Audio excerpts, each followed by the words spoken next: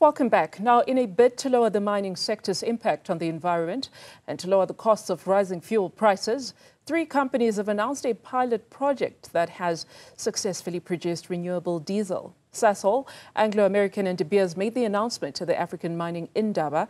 The companies are investing in Solaris. Now, this is a nicotine free tobacco and moringa plantations to create vegetable oil to produce renewable diesel. The companies say they will use the degraded mines to plant the crops for feedstock. Xolani Mbanjwa caught up with Sasol's Danie Cronje. We're very excited about the announcement we made this morning. Uh, it's a major milestone for Sasol in its transition to really create uh, sustainable, low carbon solutions for not for our business only, but for our partners and that for uh, South Africa. And uh, this uh, joint agreement with uh, Anglo American and De Beers really sets the scene as it takes the very first steps for us to produce renewable diesel going forward from now.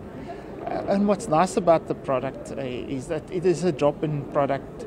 Uh, it's got the same chemical product uh, properties as uh, a normal fossil fuel derived uh, diesel. So our customers can use it in their daily operations as normal fuel that they use in their trucks when they use their, their facilities.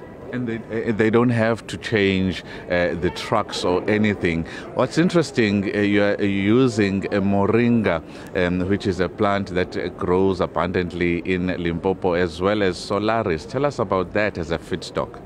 Yes, renewable diesel is uh, exactly what it uh, tells from the name. It, it's derived from renewable resources. In this case, the two plants that you mentioned, Solaris and Moringa.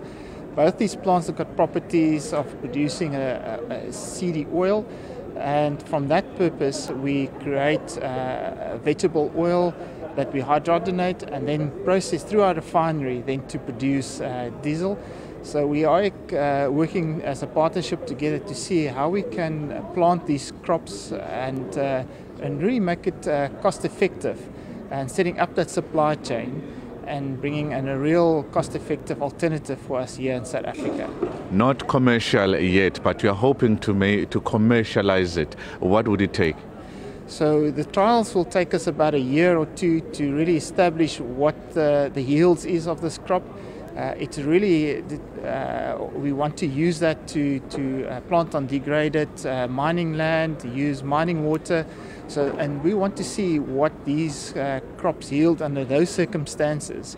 Once we've got that data, uh, we will, from that perspective, then be able to scale it up to a commercial solution uh, and to make it viable for, for our partnership.